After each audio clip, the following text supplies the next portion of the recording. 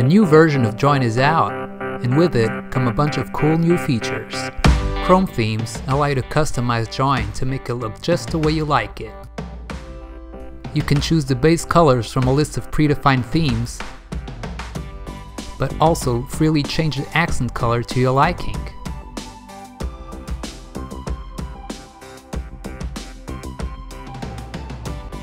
You also get a new remote settings screen. Here, you can check some info about your device and also control the Do Not Disturb mode and volumes. Notice how any change you make in Chrome is instantly mirrored on your device. I could add more stuff to this screen, so let me know which settings you'd like to be able to change remotely. Notifications also got a revamp. There's a new Dismiss Anywhere button. This allows you to choose if you want to dismiss the notification remotely or just locally.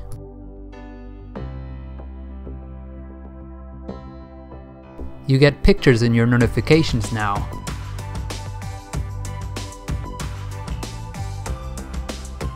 And can also receive notifications when your Android device's battery is low or full.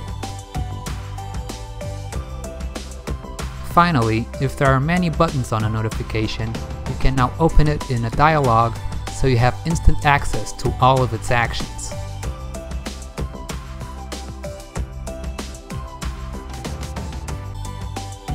With other stuff like super instant SMS notifications,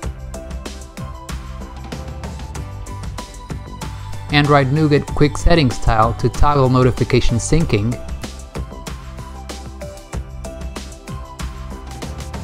and the ability to hide unwanted devices or commands,